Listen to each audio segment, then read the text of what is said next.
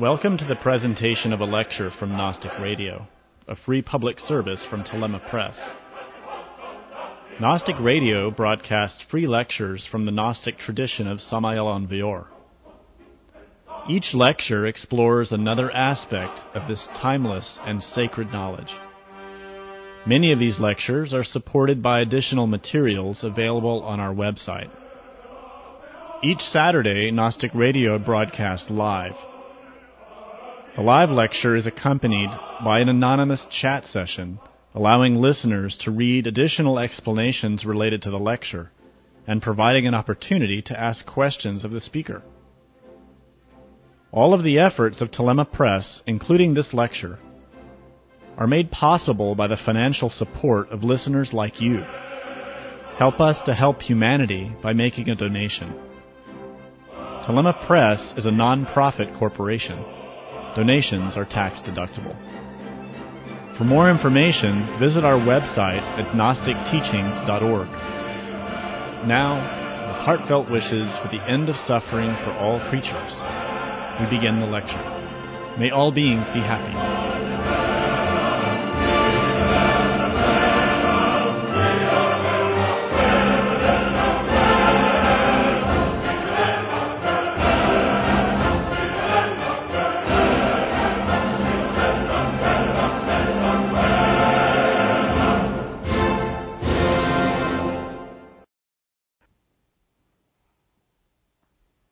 Today we've arrived at the ninth lecture in our series on the esoteric astrology of Gnosis.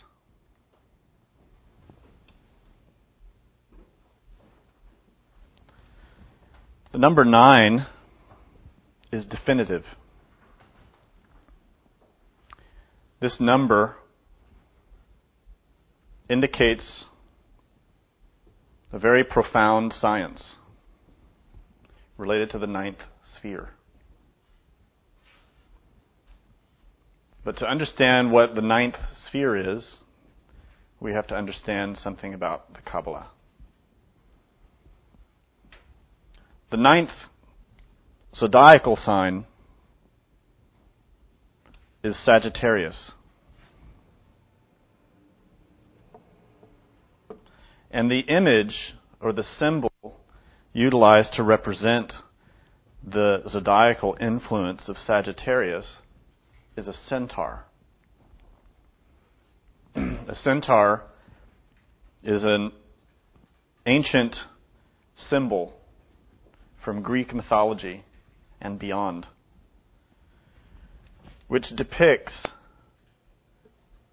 a creature who has the upper body, the torso of a man. But from the waist downwards, he is a horse. So he has four legs, the body of the horse, and the upper form of a human being. This symbol represents a profound understanding of the nature of the path to the self realization of the being.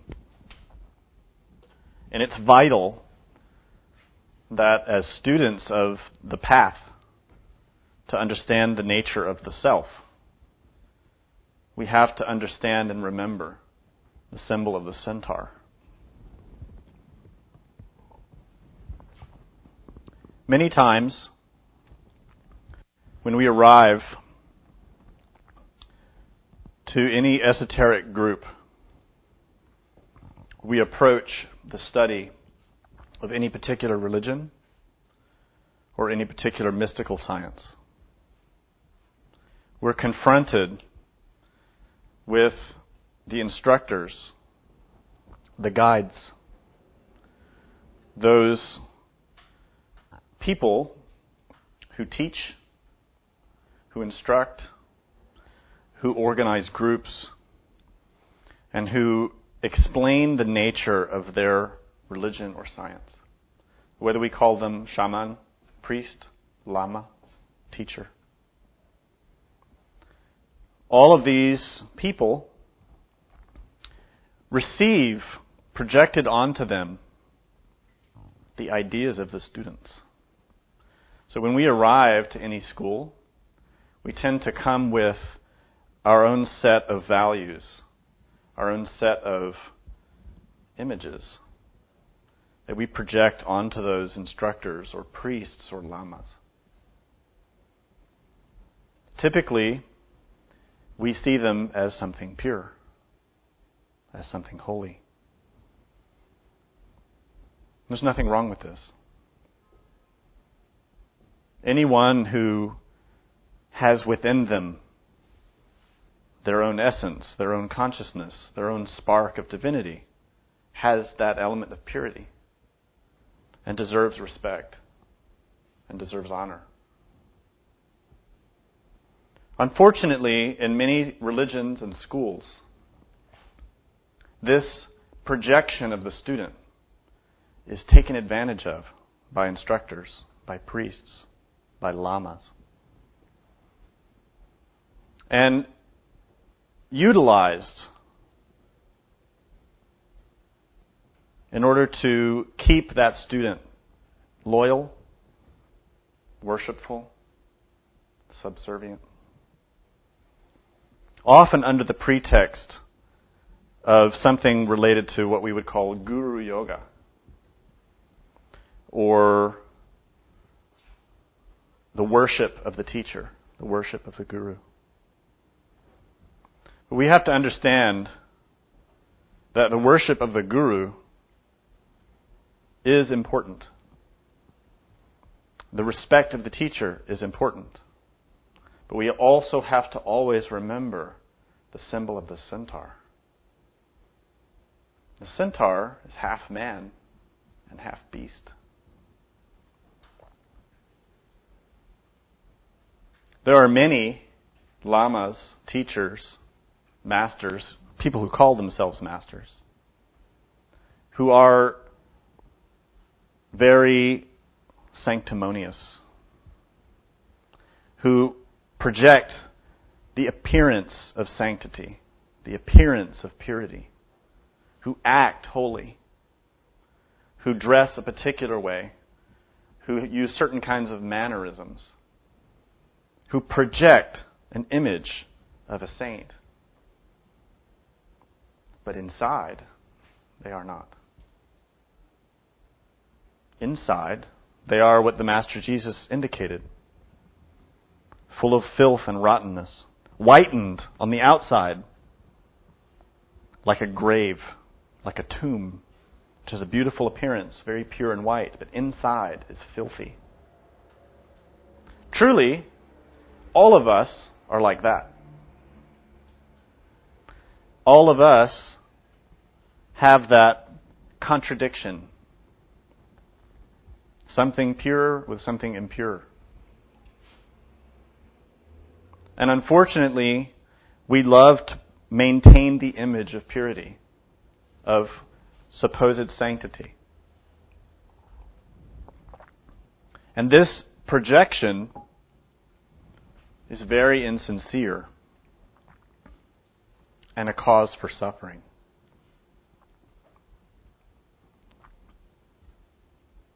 To understand this matter in its depth, we have to investigate our own selves, our own mind, our own heart. And it helps if we understand something of the nature of the tree of life. The Kabbalah, or the tree of life, is a very sophisticated map, a diagram consisting of ten spheres organized in a pattern of three triangles of three. With the tenth fallen and hanging from the bottom of the lowest triangle. These spheres represent values of the consciousness. qualities of the soul. They are not concrete in the way that our mind tries to make them. So many times when we study the tree of life, we try to assign definitive attributes or definitive concrete meaning to each sphere. But this is a limiting tendency. In reality, each sphere represents a world,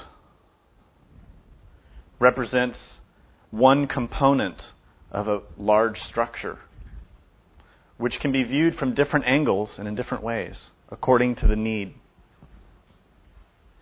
So, this is why we can see that the tenth sphere, which is called Malkut, means the kingdom in Hebrew. This is representing the physical world, this third dimension. But it also represents our physical body. It also represents the lowest aspect of the descent of the ray of creation in terms of the way energy functions and manifests. Malkut is symbolic. Likewise, all the other spheres on the tree. But we describe the tree and its spheres from certain points of view in order to understand our own psychology, in order to understand the nature of energy in, in matter, how energy and matter interrelate. When we're discussing the soul, we describe how this ray of creation descends. It descends from the absolute. The absolute is a vast, unmanifested entity or non entity. It is incomprehensible to our mind. It is uncreated light, that potential for manifestation, but not manifest. The absolute can also be called the emptiness. But this does not mean that it is nothing. It is something, but it is nothing like what we know. We can call it nothingness, but that does not mean that it does not exist. It is existent but without an existence that we understand. In Buddhism, this is called shunyata.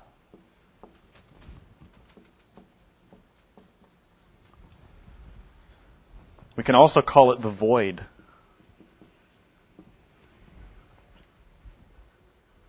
In his writings, the Master Samael Aun Weor spoke often of the illuminating void.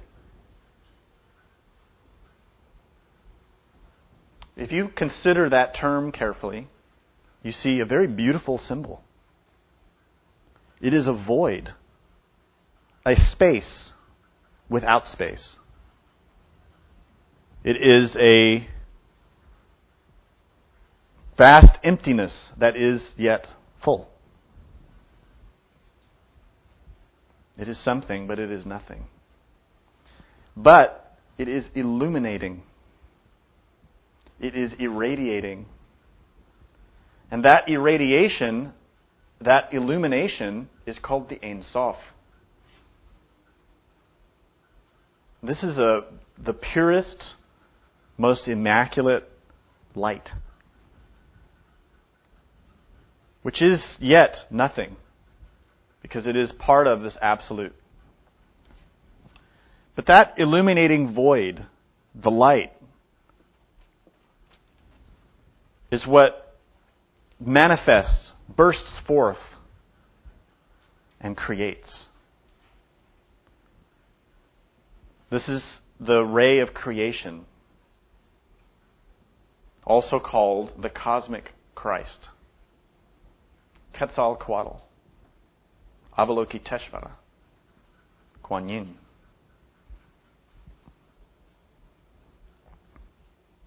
it's important to understand the nature of the void. But that understanding can only arise through direct experience, not through the intellect. This is vital to grasp. In the esoteric traditions, it's stated that the one who experiences the void consciously is changed, becomes different, becomes distinct, becomes a person unlike other people. Because the nature of that experience is so penetrating. It is as if you're struck by lightning. It transforms the consciousness and provides a kind of comprehension that is distinctly different from creatures who have yet to experience the nature of emptiness. This light, the root, unfolds itself through the wisdom of Da'at, which is the hidden sphere in the tree of life, and all of creation ensues. We have all the levels of being, all the levels of life, all the dimensions, all the many worlds, the myriad of creatures who exist. Within each atom, within each particle, is a connection to the Ein Sof, is a portion, a particle, a link.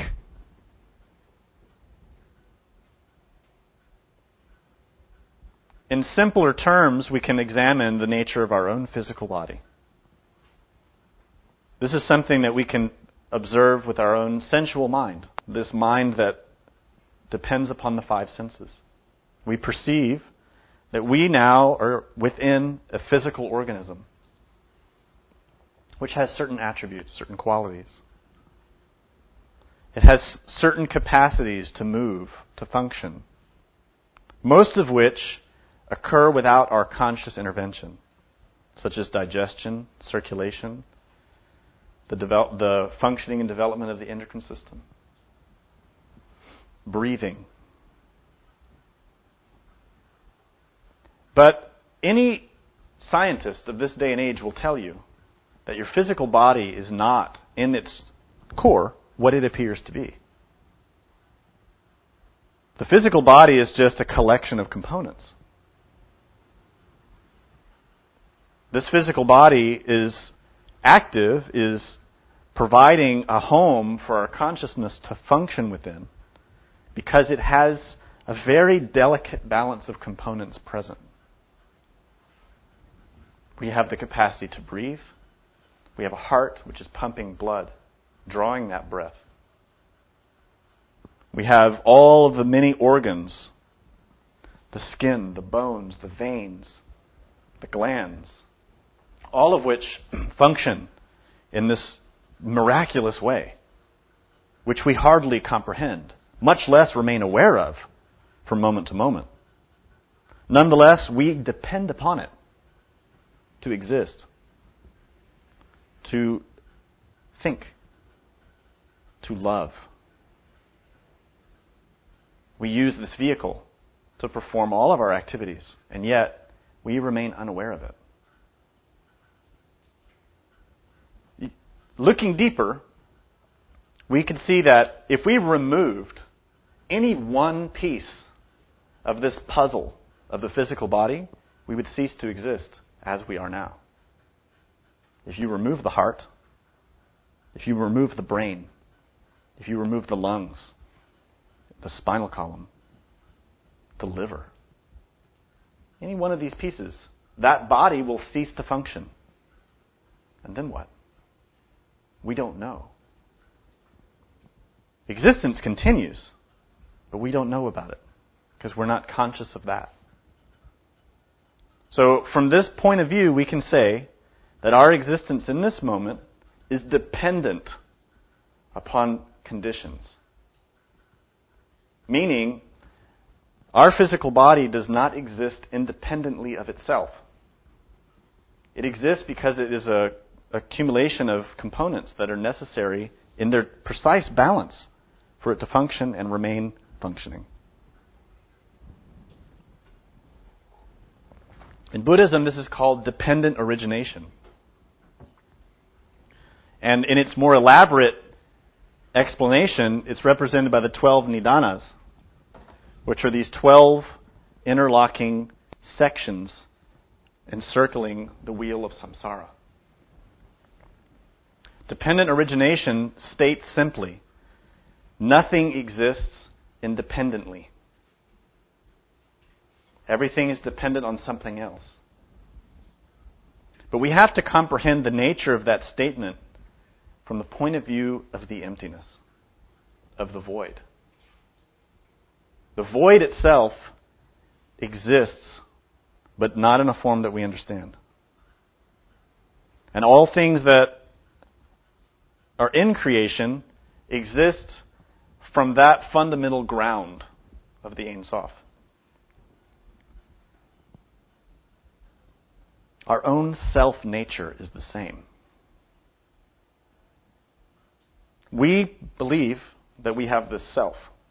Firstly, many people think the physical body is what they are. And that's it. The question comes then when your physical body is sleeping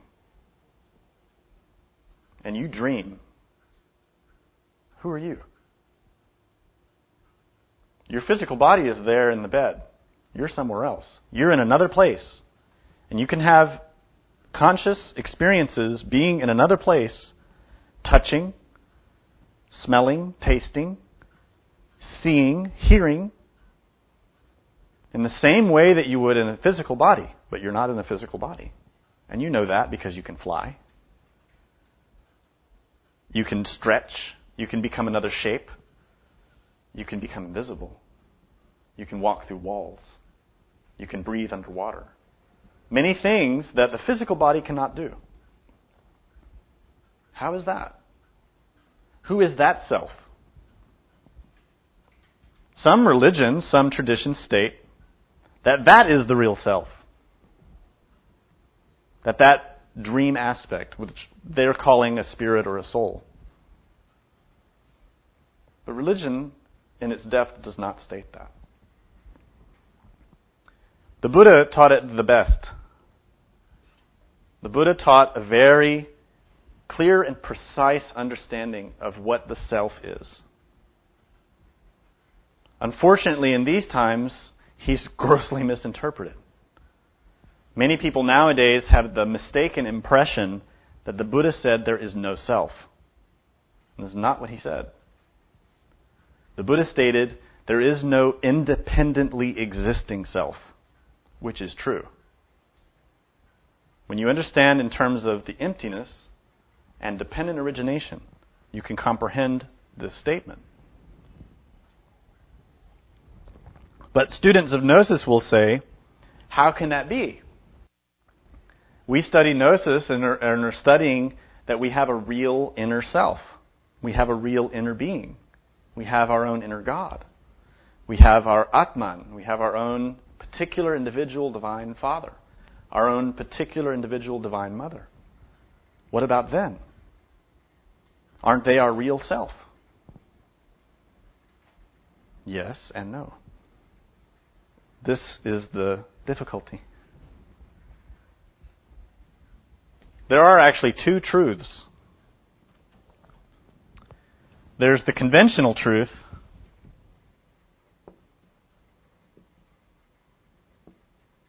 and there is the ultimate truth. Conventional truth is what we all have the capacity to confirm right now. We exist. We're here physically with some degree of awareness of that. And we can confirm and discuss the existence of the physical body. And that each of us can say, Yes, I'm here in a physical body. This is conventional truth. That person who's confirmed that level of conventional truth can easily say, I don't believe in astral projection or astral travel. I don't believe in other dimensions. Because they've not experienced that. So their degree of comprehension of conventional truth is limited to the physical world in Malkut. And they can't be blamed for that or criticized for that. That is their degree of understanding. But someone who's had a conscious experience out of their physical body, who's been awake in another dimension and has flown or floated or passed through a wall or a ceiling or traveled across the earth to distant places consciously, that person knows in their own experience, no matter what anybody else says, that that was real. And that those types of experiences are real, in spite of what the scientists say. They know it's real. So for that person, their understanding of conventional truth has expanded. Now they've confirmed something about other dimensions. They have an understanding beyond just physical truth. The same is true through each sphere of the tree of life. When we teach Gnosis, when we study Gnosis, we always talk about our real being, our real self. Often, we talk about that real being as chesed, atman, in Sanskrit. Our own particular inner divine Father. And from the point of view of that sphere, he is indeed our true being, our real self. And this is more or less what the Brahmins were stating in India when the Buddha arrived. Unfortunately, the Brahmins stopped there. They thought Atman was it.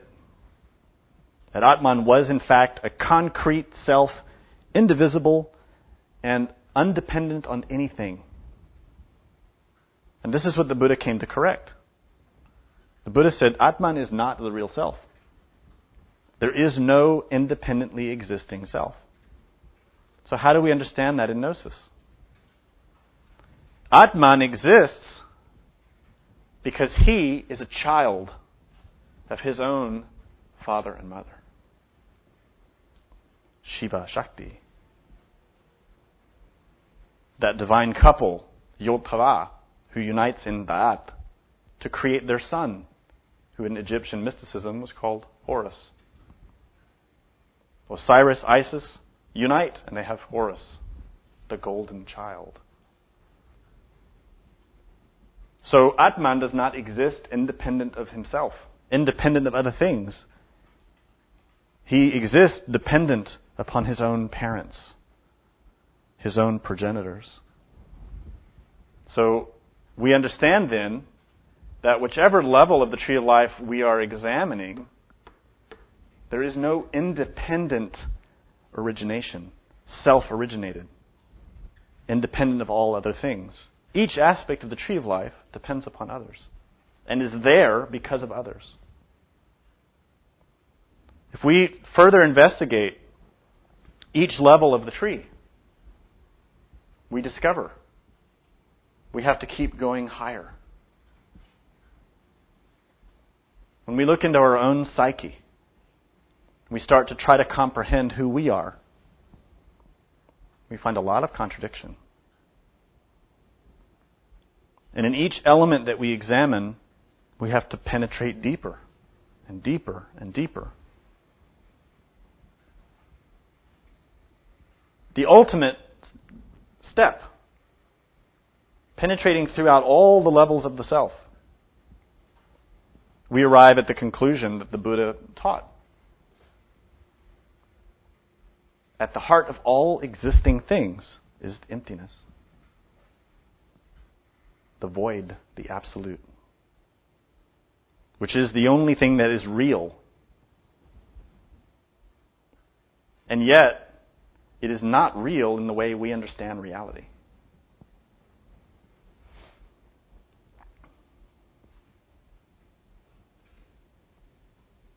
When this ray of creation unfolds itself, and the light is projected as that. Oris, Atman, the Spirit, is born. And this is in the sixth dimension, very high. He in himself is a three in one. He has two souls. He has a divine soul, which in Sanskrit is called buddhi. And he has a human soul, which in Sanskrit is called manas. These three in one are called the monad. So we often discuss the monad as our real self. And from our point of view, in terms of conventional truth, the monad is our real self. But even the monad has a real self beyond him.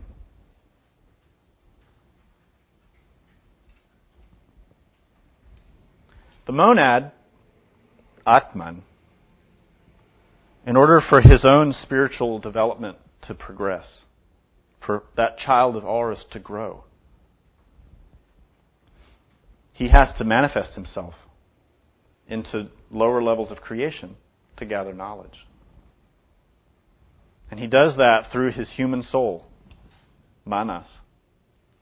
This unfolding occurs through the four bodies of sin. And these are, of course, what we know of as mind or intellect in Netzach, what we know of as the astral body or emotion in Hod, the ethereal body, uh, or vital energy in the world of Yesod, and the physical. These four become the vessel, the vehicle, the chariot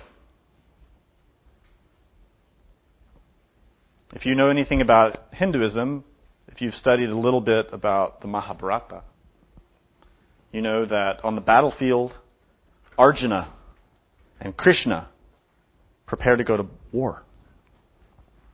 Arjuna would be the human soul who stands in the chariot.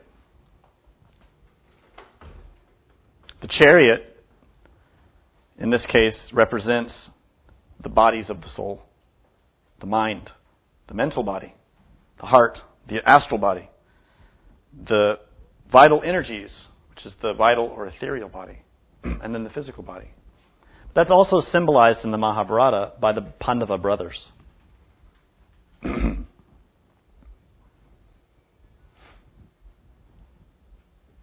when this ray of creation unfolds this structure, the spark of the essence, this little percentage of the human soul,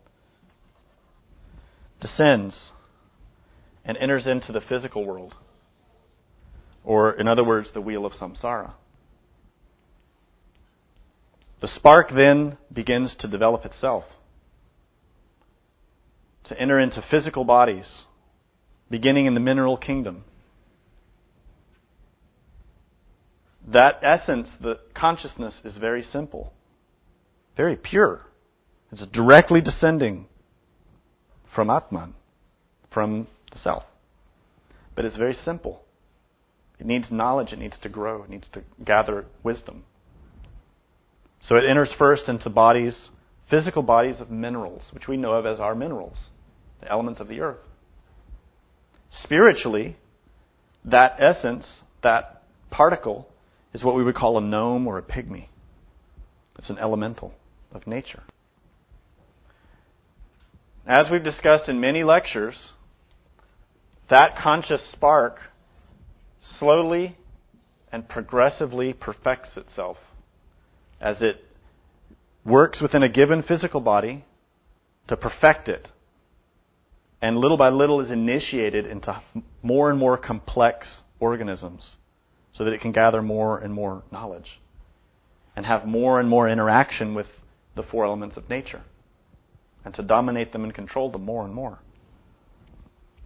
And this happens progressively through the mineral kingdom through the plant kingdom, through the animal kingdom. The entirety of that progression can take millions of years.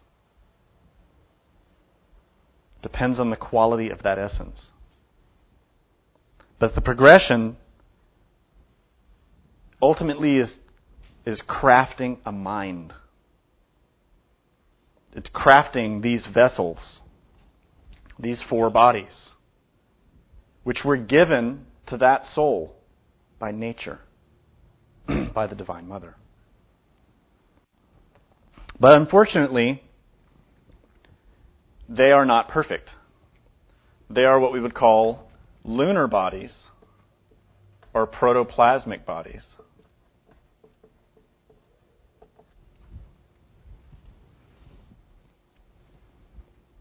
They are mind. Mind in their level. A plant has a mind in its level. It has consciousness in its level, the level of a plant. And there are many levels of plants, very simple forms of plant life, ranging up to very complex ones. Same in the animal kingdom. An animal has mind. And when I state mind, I'm not talking about intellect. I'm talking about a vessel for the consciousness, a vehicle through which the consciousness can interrelate and understand. A mind is a transformer of energy. we can see in the animal kingdom some creatures have very simple minds. They can understand and interrelate with other creatures at a very simple level.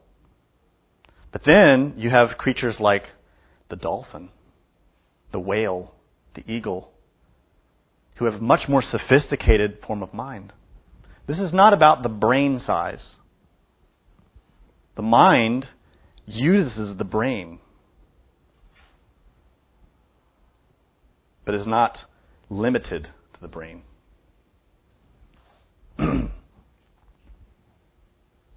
so, this process of evolution is a process of developing mind.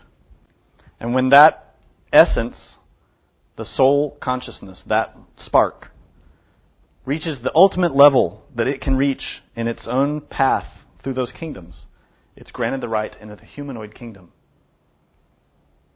So that soul, clothed with its lunar bodies, enters into the humanoid kingdom. The humanoid kingdom is a very special place. The Buddha himself said, it is the most precious body in nature, in these kingdoms. The reason is the physical body of the humanoid is so sophisticated. All of our science and our medicine today still does not understand the physical body that we have. Still, we are grasping to understand it and fail to. And still, we only are using a very tiny percentage of our brain and we think we're so elevated. There are enormous capacities within the physical body which are yet untapped by most people. The physical organism of the humanoid is a womb.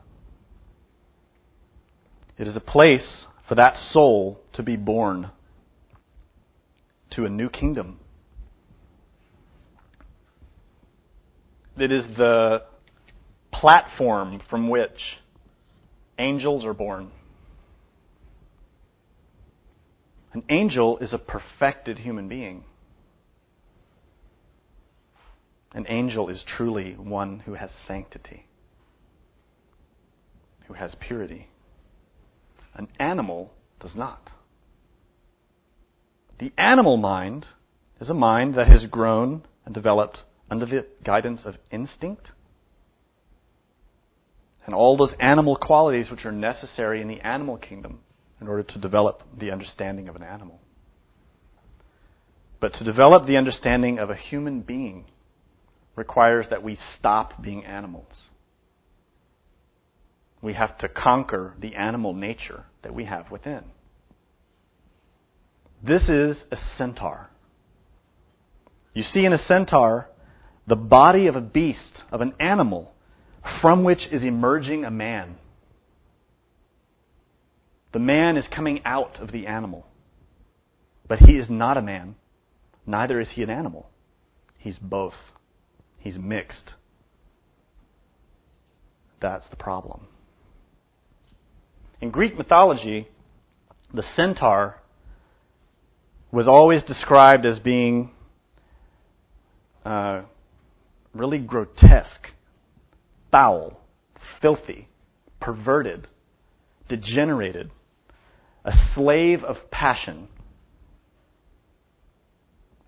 Who are we? Who are we nowadays? Do we dominate and control our passions? Or does our anger rule us? Does our lust rule us? Do we make decisions in life because of what our God wants in us or because of what our envy wants?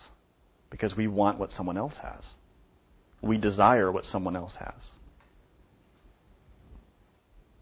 Many in spiritual groups and religions love to believe that they are humble and even project humility. But they're proud of their humility. That's not humbleness. That's not humility. That's pride.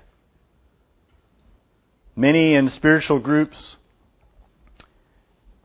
renounce material things, but covet spiritual development and are greedy for spiritual knowledge.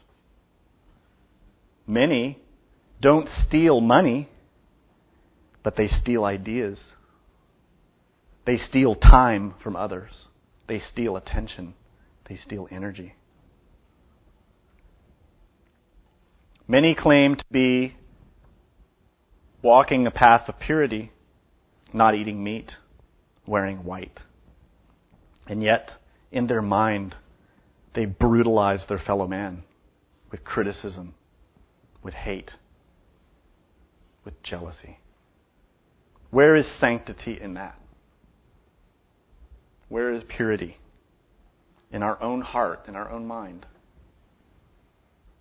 This is the nature of the centaur. This potential to become human, which is trapped in the body of an animal. The body, in this case, the body of the animal of the centaur, is symbolic. The horse has four legs, which are these four bodies of sin. And those are the bodies, the lunar bodies, that we as a psyche stand on. Our animal intellect, which reasons and justifies based on desire. If we want something, if we envy something, we justify it with our animal mind. And we call it a need. I need that. I need that new dress. I need those new shoes. I need that person. When really that need is desire. It's lust. It's gluttony. It's greed. It's all cravings for sensation. Or I need to get out of this marriage Could be fear, could be hate, could be lust. What we call need is usually a want or a desire. And we justify that with this animal intellect, the lunar mental body. Likewise with the heart.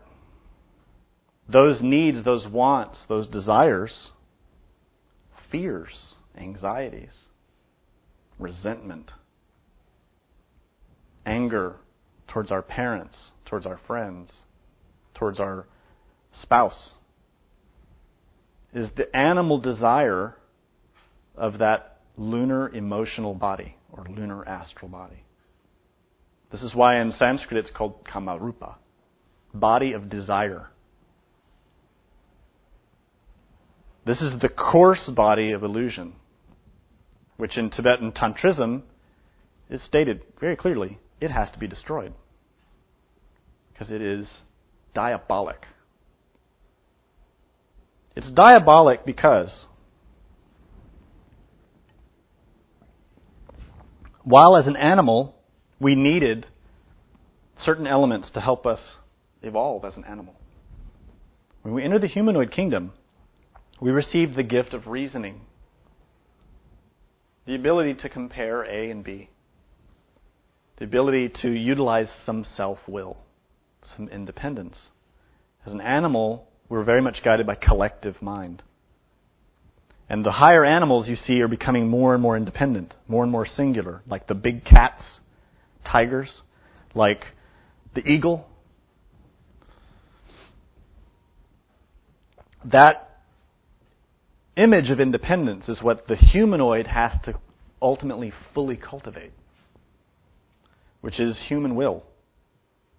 The ability to perform right action not from instinct, not from desire, not from habit, but because it is in line with the higher laws of nature. To become a king and queen of nature is to become a ruler over those elements of nature. But unfortunately, the reasoning that we receive puts us in a position of great responsibility we then have to take responsibility for our actions, whereas an animal we didn't.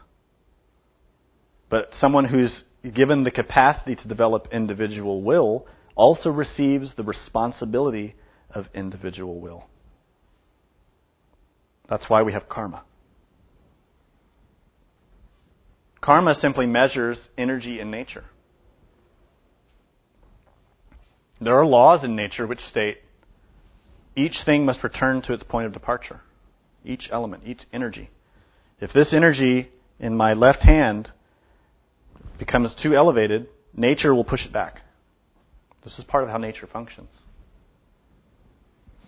Even the materialistic scientists now are confirming this. Karma is a physical law, which Newton stated for every action, an equal and opposite reaction. But that applies to emotional energy too. If you're projecting anger, that energy has to come back. If you're projecting desire, envy, lust, there's karma, consequences. This is why we suffer. Each action that we perform under the guidance of animal desire, whether it's through the heart, through the mind, or physically. We accrue karma for that. And the karma is encapsulated. It's not just some idea. Remember what Einstein taught you can't destroy energy. Energy becomes matter, and matter becomes energy. This is true of qualities of the soul as well. When you, as an individual, someone who is acting on your own, feed an element of lust, feeling lust for another person, and you give that feeling energy, fuel, something is created in your mind. And that something is called an I. It's called an ego. That something, let's say it is lust. That lust is constituted by the nature of that, the way it was created that moment. Let's say you saw another person who you felt lust for, desire. That lust has thoughts in it, it has feelings in it, emotion, and it has vital energy. Three aspects. And the physical body takes those energies and channels them. And the mind and the heart take those energies and channels them according to our will. And the result is those forces, channeled through lust, create an I in hell. Our own personal psychological hell, our own subconsciousness, our own unconsciousness, our own infraconsciousness. When someone criticizes us and we feel that pain and we feel bad about ourselves, that energy is creating an element in the mind. Modern times, they call it a trauma. But that trauma is a material element that's produced in more subtle levels of nature. Whatever you think, whatever you feel, has interrelations with matter on those levels of nature. Successively, through lifetime after lifetime after lifetime, through the humanoid kingdom, we have been doing this from moment to moment. From physical body to physical body, creating new elements, creating new egos, creating pride, envy, lust, fear, laziness, gluttony, greed, hate.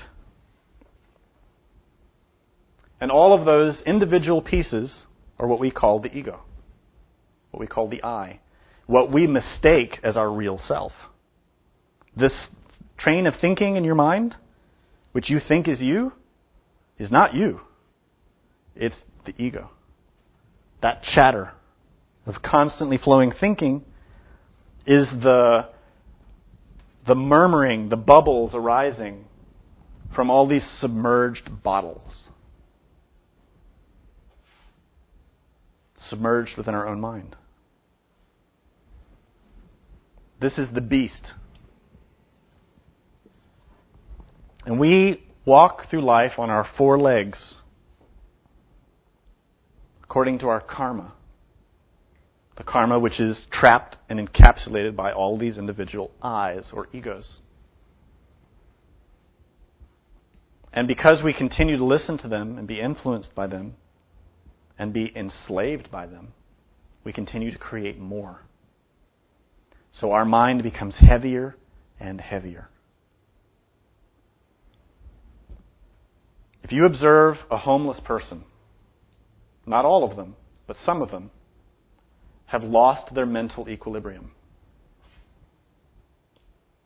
They have lost the capacity to manage their own mind. The personality has fractured.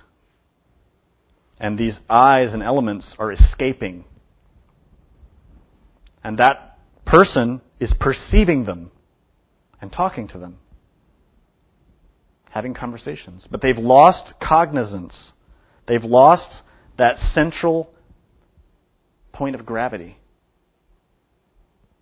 And so they're becoming very disequilibrated, very unbalanced. You know what we call this person? A Hanasmuss. This is a person with a double center of gravity who can't keep their balance.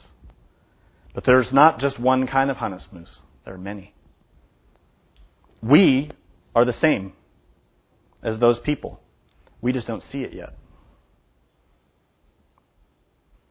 We think they're different from us, but they're not.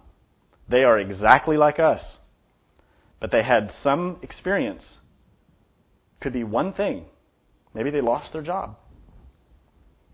Their own karma put them in a position Maybe they lost their job or their spouse.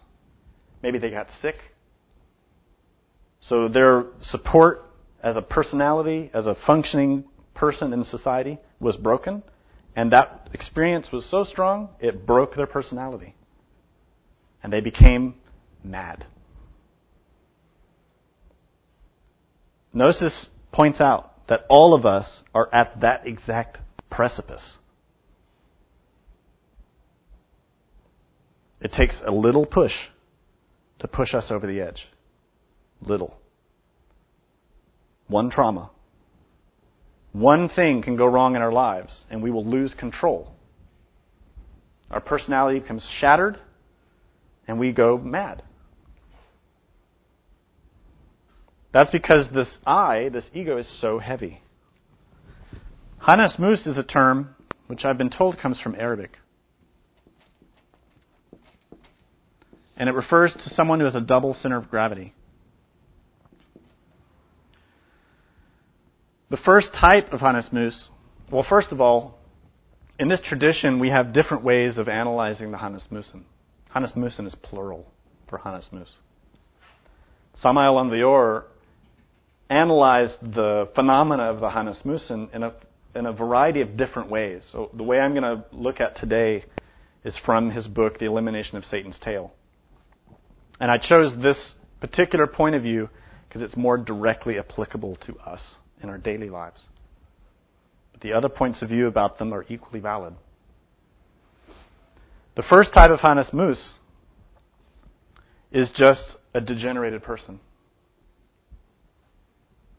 Someone who has no real force of will, who's weak, who's just tossed about by life from event to event. This type of Hanasmuss has a double center of gravity because they have a center of gravity in the ego, and they have a little spark still of free consciousness, or the essence, the Buddhata. They still have a little piece. So this is a weak, degenerated soul with no real force. Now, this person of the example, like a homeless person who's lost their mental equilibrium and the personality is fractured. Generally speaking, we state that this type of person is on their last existence as a humanoid, as an intellectual animal. And that's why their suffering is so great. Because that mind has become so degenerated, so complicated, and the karma is so heavy that nature cannot sustain that psyche in this level of existence. It's too heavy. So, out of compassion, God gives a, a, doorway to cleanse that soul of its karma. And this doorway is the doorway into hell, the abyss, the averno, the klipot. So the, that homeless person of our example will die. And that soul, that essence, will not incarnate again in a humanoid entity as a person like us. But instead, they will begin the slow process of devolution back down the wheel. First in animal bodies, to dissolve all those animal elements of the mind, to break all those bottles and free the little spark of purity that's inside each one. Little by little, the Divine Mother breaks down that I until the essence is freed in the second death, which the Bible mentions. This is a long process. And it's talked about in, in detail in the Divine Comedy by Dante Alighieri, who was an initiate. This first type of Hanasmuss passes through this process relatively quickly, but not easily. It's very painful. If you've ever had a nightmare, you're dreaming in these levels. You're perceiving hell.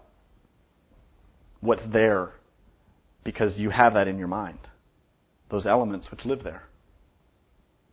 A nightmare happens because your soul, your consciousness has particles trapped in that level of your own mind. And you experience that. And it's terrifying. Most of us have no recollection most of the time of that happening, but it's happening every night. The second type of Hanasmuss has a lot of energy. has a lot of vitality.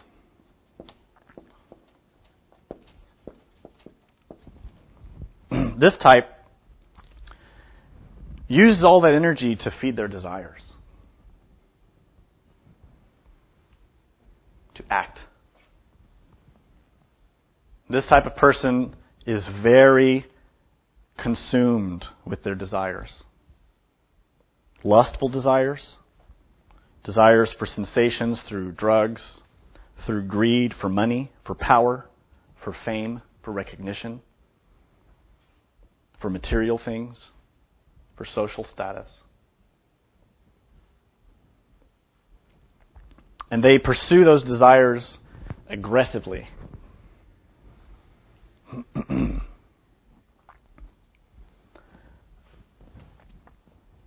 this type of person, of course, has invested a lot more energy in the I, in the ego. And so that ego, that karma, is heavier. So they too, when they've exhausted their opportunity in humanoid bodies, will be recycled by nature through the process of the second death. But it will take longer. Could be a lot longer. They have more karma, more pride, more anger, more fear, more lust. So it takes longer for nature to break that down and once again free that soul so it can try again. The third type has entered into some kind of occult studies.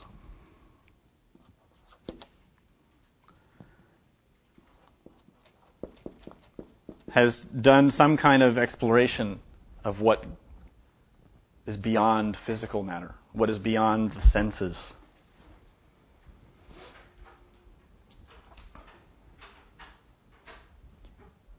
It's pretty assured.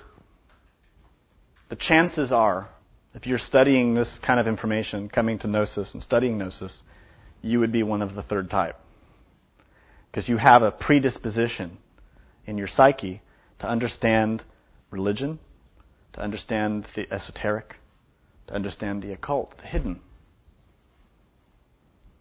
But the karma of that, the recurrence of that from past existences,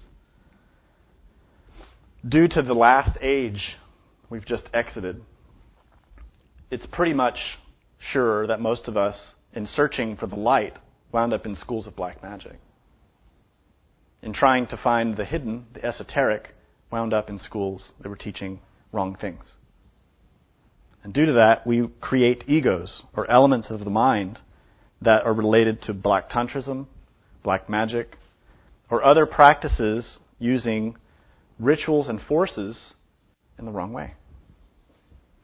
It may appear per- perfectly good on the surface, but if it's out of alignment with the will of God, it's wrong. It's black. This third type then has developed a kind of karma or a kind of um, responsibility, which is different because they acquired some degree of knowledge, some degree of understanding, so they have more karma because they misuse it. So once they exhaust their opportunities in a physical body, they're recycled by nature, and it takes even longer to cleanse that karma, to purify that soul. Well, then we have the fourth type. The fourth type in this particular model has developed some degree of the soul. what does that mean? The heart of any religion, the esoteric heart, is the science to be born again, which is an exact method. Some call it Tantra, some call it alchemy, some call it Da'at. But it is a form of understanding and knowledge which utilizes all the capacities of the physical body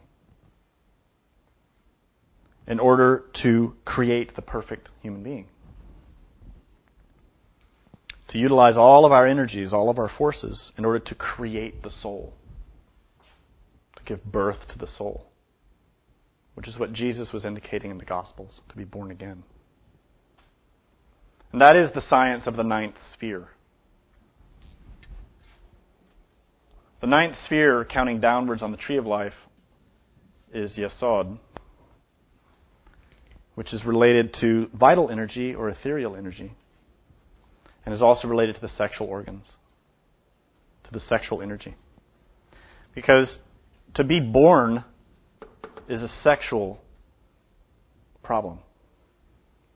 Everything that is born is born sexually. There's no exception to that. Every creature, every angel is born because of the laws that God has put into place. Sex is the law on all levels. But let's not confuse the sexuality of the animal kingdom with the sexuality of the human kingdom.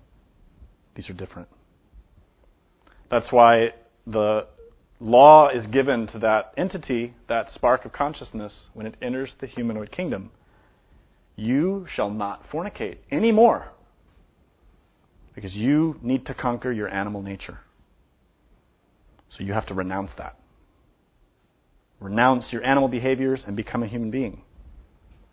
And those who do that, who begin to harness the sexual forces and begin to understand how to develop the mind in the right way, begin to create solar mind, not lunar mind, solar. Solar because soul, the sun, is related to that light which irradiates from the Ein Sof, the cosmic Christ, the light of the world, the sun of the sun. And that light, the ray, has its exponent here in the ninth sphere through the sexual energy. Here in that, at the level of the throat, through the word. The one who wants to become an angel has to be born as an angel through the proper use of sexuality. This is by raising the serpent of the Kundalini, transmuting the sexual forces in the physical body, raising the Kundalini of the physical body, transforming the forces of the ethereal body, and raising the serpent of the ethereal body, transforming the forces of the astral body, and raising the serpent of the astral body. And when that serpent is raised, the serpent of the Kundalini in the astral body, the solar astral body is created.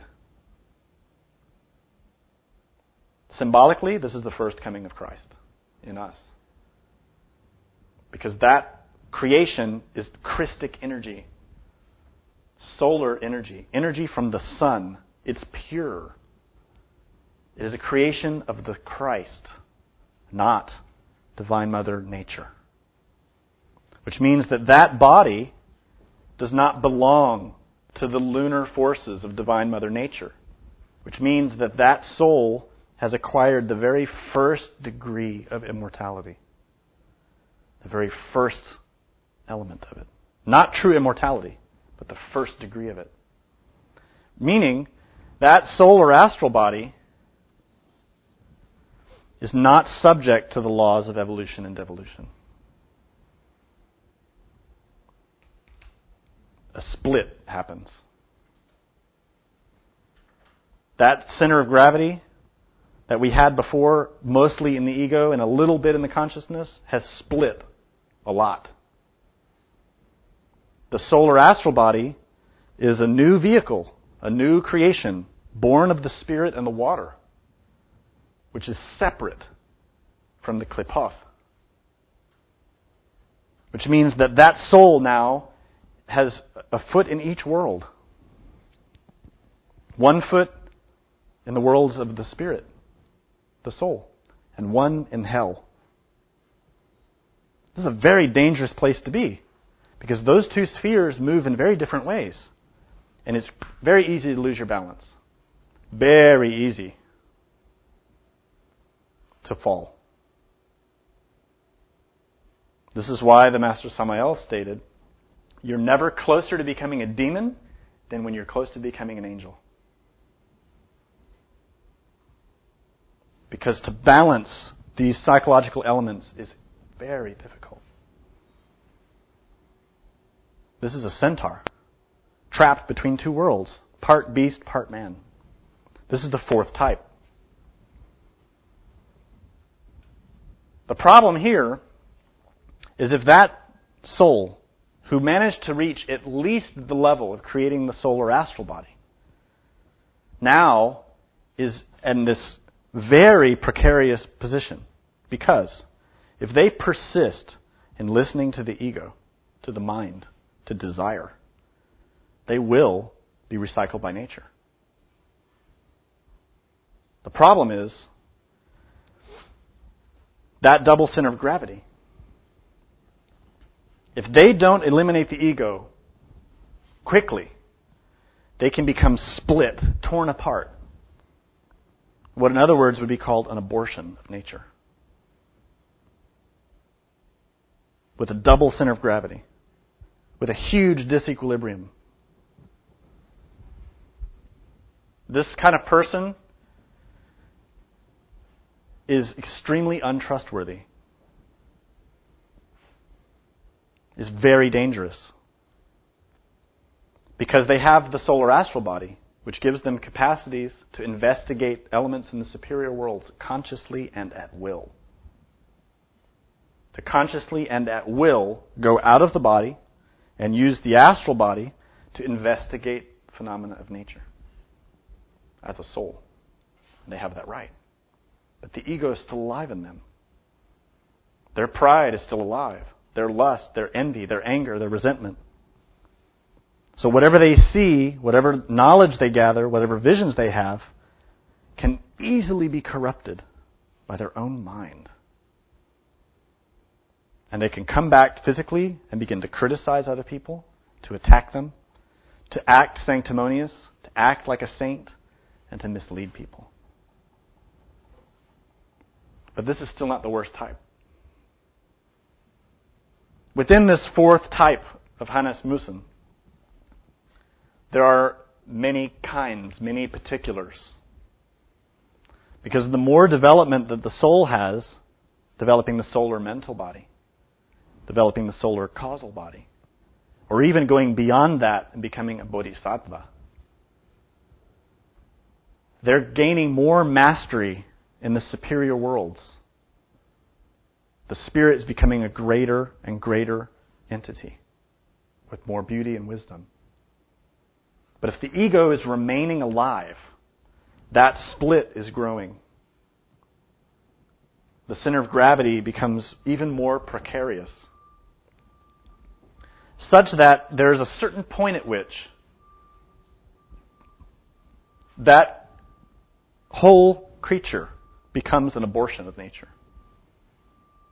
And the Master Samael often re- refers to Andramelech. Andramelech is precisely this kind of bizarre formation, bizarre creation, who is both a master of the white and a master of the black at the same time, but is failed. And it's failed because the human soul is fallen. That centaur has descended into the abyss, like Chiron. In Dante's Inferno, Chiron, the great centaur, lives in the seventh circle of hell. If you know the Greek mythology, you know that Chiron was the great teacher he was the exception to all the centaurs. The centaurs were known to be passionate, brutal, violent creatures, addicted to their passions. But Chiron was different. He taught all the great heroes. He taught Theseus, Ajax. He taught them how to conquer and become solar gods, solar heroes. He taught them how to make the soul, to create the solar bodies. He was an initiate. But he was a centaur. He had not dissolved his ego. In Dante's Inferno, Dante places Chiron there in the Qliphoth. Even though Chiron had these capacities and was well respected, he nonetheless belonged to the Qliphoth because he did not dissolve the ego. This is symbolic of teachers, of bodhisattvas, of students who develop some level of the soul but do not eliminate the ego. They remain there with pride alive, with lust alive, envy, fear, self hate, shame, anxiety. All of these elements.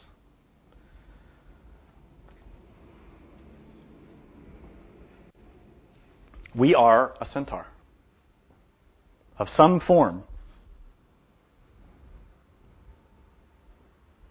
It's urgent that we dissolve the ego. This is why we focus on meditation all the time when we study Gnosis. To analyze our mind, to analyze our heart, to change, to sincerely become a good person, not just to act like one, to become one. So that right action becomes spontaneous, not forced, not assumed, not sanctimonious. André is given as an example because any student, any person who uh, is investigating occult science of some kind, whether it's in Gnosis or another tradition, may try to invoke André and call André But you never know which one will come the white master or the black master. And believe me, the black one looks white. He's awake. He knows who he is, he knows what he is. But what the Master Samael stated was that André of course, is fallen. The being is not. The white master, Atman, has all the virtues and gifts and beauties of a genuine and established master, angel. But his human soul is a demon.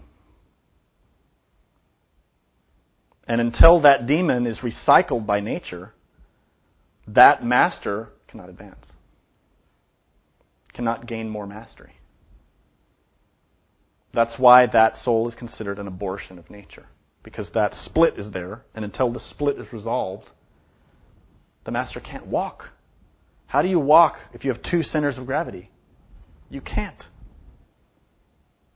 You need to have a single centered balance to use your feet and walk.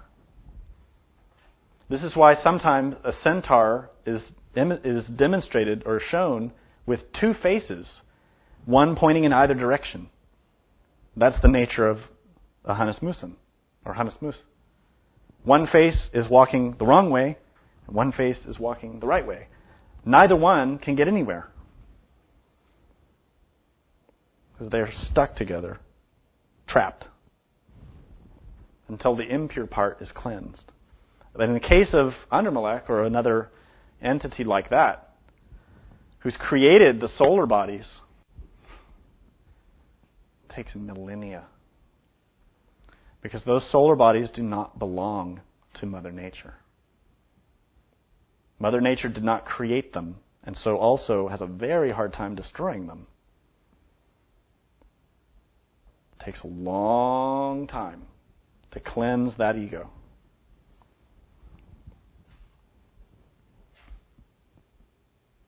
The Sagittarian person can dis- demonstrate some of these contradictions. To be very bright, very sharp as a, as a mind, as a heart, have a lot of heart.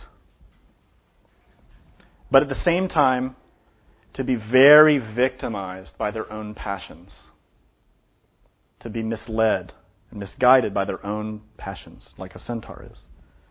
To have a hard time controlling lust in particular. And Samael Weor stated that.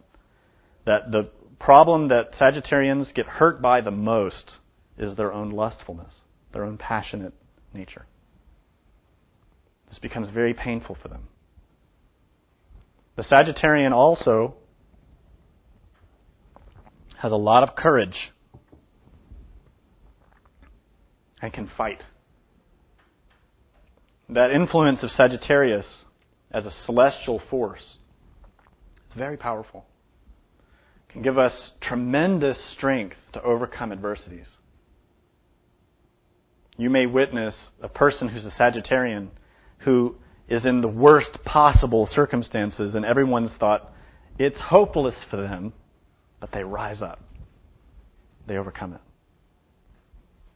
This is a unique capacity that the influence of Sagittarius can provide to any soul, but particularly to the Sagittarian, the person born under that influence.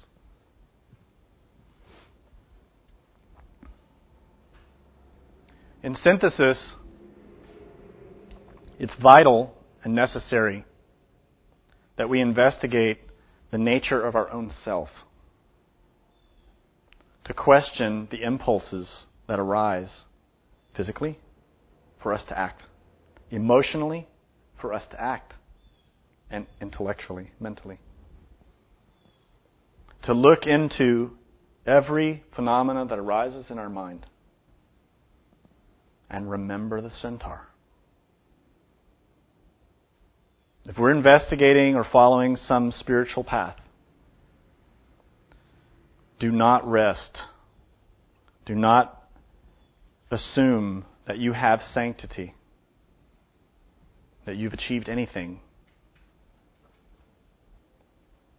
You always have to look for your own animal aspect and remain aware of it. Because otherwise, you can fall into mistake believing you are a saint and ignoring the truth that is in your own mind. Further, even if you have the, the great blessing to have an experience consciously with your own inner divinity, to have a conscious experience with your own divine mother, with your own spirit, your own divine father, or even with some component of your soul which you can converse with. Always remember the centaur. And remember, God has no form. Even if you experience God in an experience of some kind, in the astral plane or the mental plane, the causal plane, don't take that experience as your real self. Because from that you can create an I, a false sense of self. And you can remain as a centaur. The one who becomes free of being a centaur kills the animal inside. Like the ancient warriors kill the dragon. The dragon is inside. Remember Heracles Heracles encountered the centaurs and dined with them. But they became so enraged and impassioned by the wine, he had to fight them off. And what did he fight them with? His bow and his arrows. But the arrows he had dipped in the blood of the Hydra, which he had conquered previously. The Hydra, as you remember, is that many headed serpent or dragon. Those heads are the egos. Usually there's seven, the seven capital sins. Sometimes there are nine, which relate to the nine spheres of the Qliphoth, which is the same dragon from the book of Revelation, who has seven heads and ten horns. When Her- Heracles kills the Hydra, he dips his arrows in the blood, because the blood, the force, the energy, is so potent and powerful. This is a symbol of comprehension, of him taking the forces from the ego, transmuting his sexual energy, and utilizing that force against his own mind, the centaur. So he killed them. And this is what we have to do. We have to conquer our own passion, our own lust, our own pride, our own envy. And take the forces that we extract and continue to fight against the ego. You see there first, he dominates a certain part of the ego related to the Hydra. Then he has to dominate another part of the ego related to the centaur, or that split personality, solar and lunar. A lot of wisdom in those myths. They aren't just fancy stories, they have initiatic wisdom.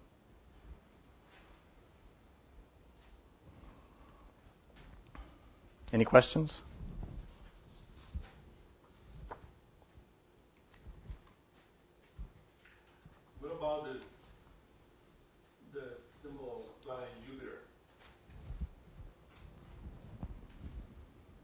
Do you mean? The rule Jupiter. The symbol with the arrow? The planet, Yeah. And what about it specifically are you pointing at? In relation with Sagittarius, what is uh, related with? Jupiter? You yeah, Jupiter. Do you have something in mind? No. Jupiter, uh, mythology is the king of the gods. Uh huh. So in this case, uh, uh, how do you apply uh, Jupiter? Well, my understanding, of course, Sagittarius is related to the planet Jupiter. And Jupiter, of course, is the king, that one who provides the majesty, the rulership. When we work with the forces of Sagittarius, really we're working in the house of Jupiter, so there's an influence there. And the Master Samael taught a practice whereby we can harness those forces. The practice is simple. You squat down on your feet like uh, people in India do or people in South America. And you put your palms, your hands on your knees with the index fingers pointing up. And you meditate. and You visualize those forces of Sagittarius flooding you but particularly to influence the pineal gland. The sign of Sagittarius has a particular influence related to clairvoyance and the capacity to perceive that which is beyond the physical. This is why it's so important for us to develop discrimination when we're observing ourselves to be able to discriminate between the, all the different qualities that arise in our three brains the impulses to act, to think, to feel. We have to apply that same discrimination to what we see clairvoyantly in meditation, through visions. Without that discrimination, we can take our visions as concrete facts, and we can easily be misled. To see clairvoyantly is natural, but to see objectively without the filter of the ego is something unusual. Normally, we see what the ego is showing, what the ego perceives. And in any moment, if you're thinking, there are images processing in your mind. That's clairvoyance. But with meditation, with transmutation, and work in this kind of science, that capacity becomes enlivened, inflamed. Your imagination becomes more vibrant, more illuminated. So the capacity to see things is enhanced stage by stage. This is also why the danger grows to be misled and why instructors and teachers can begin to believe they are becoming enlightened because they begin to see more. But that doesn't mean they're seeing the objective truth, the ultimate truth, which is right view, the view of emptiness or dependent origination. Most of the time we see through the filter of the I, even if it's clairvoyant. It's through the filter of the I. The levels of clairvoyance are related with the levels of The question is are the levels of clairvoyance related with the levels of Hanasmussen? Absolutely. Of course. We know there are five fundamental types of clairvoyance. But in general, we group, we group them as two objective, which sees the levels of truth free of ego, and subjective, which sees according to the ego. So the, the first levels of the Hanasmuss are going to predominantly have their imagination caught in the ego's desire. So whatever they fantasize or daydream or imagine is going to be related to ego. Whatever they dream will be related to ego. Whatever they visualize, whatever they imagine, will be projected desires. Some of them may learn to meditate. Any person can learn to meditate. And in that process of meditation, we're developing a receptive mind in order to perceive. But those perceptions remain subjective until the ego is separated from the consciousness. And this is called samadhi. Just because someone has developed that capacity to see without the filter of the ego does not mean they are enlightened. It only means that they've experienced the separation of the free consciousness from the egoic consciousness. However, samadhi has its aspects too. A black magician is able to see clairvoyantly and to see with great concentration and to see images very clearly, but through the filter of the ego. And they call it samadhi. It's a form of samadhi in the sense that they are perceiving phenomena beyond the physical world and they're perceiving it very clearly. But this is subjective clairvoyance or infernal because what they're perceiving belongs to the Qliphoth. It may be razor sharp and perfectly clear with lots of color and long standing, consistent. That doesn't make it objective. Full and real samadhi, or objective clairvoyance, is the capacity to see in the superior worlds. But to see in that way, we have to free the, the consciousness from the ego. And the forces of Sagittarius can assist with that.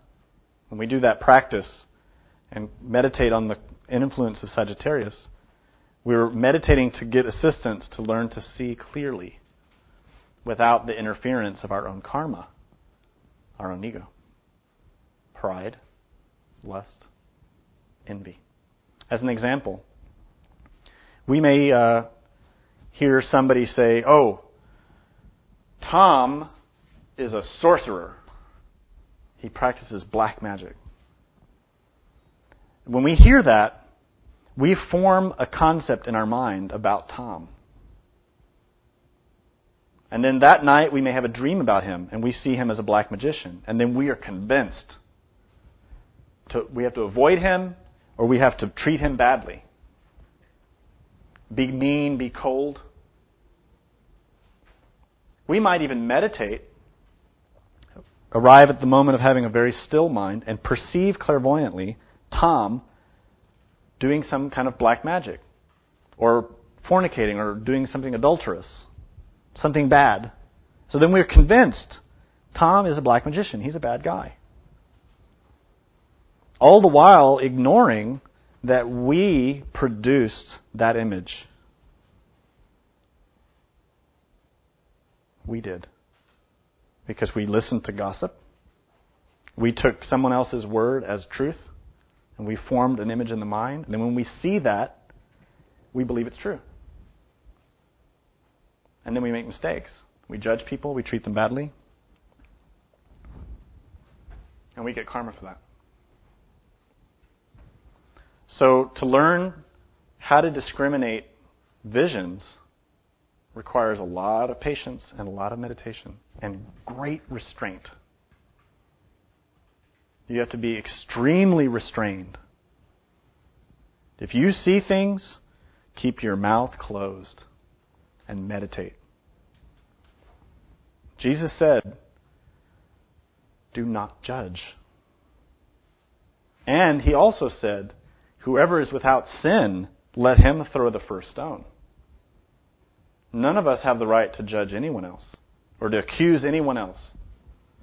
None of us have the right to say so and so is a black magician, or so and so is a Hanasmussen, or so and so is a witch, because all of us are that. All of us have the ego alive, and we are equally condemned to suffer the consequences of our actions. Therefore, we have to cultivate compassion. We have to cultivate understanding. The Master Samael stated a beautiful thing. He said, Injustice is not corrected with blows, violence, but by teaching the truth. Darkness is not dispelled with violence, but with the light. Another question? What's the satyr related to? The one with the two animal legs and horns for a satyr is the similar kind of symbol. It's the bestial nature of a man, but typically it's related to lust.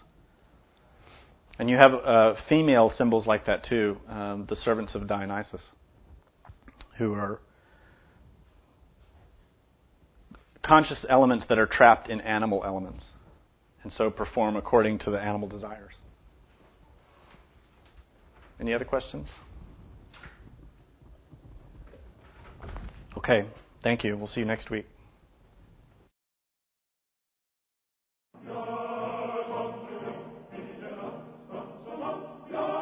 Gnostic Radio is made possible through the financial support of listeners like you. To make a tax deductible donation, visit our website at GnosticTeachings.org.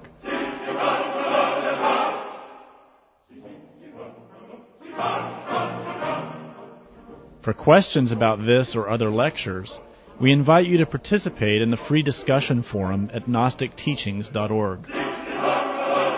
Thank you for your support. May all beings be happy.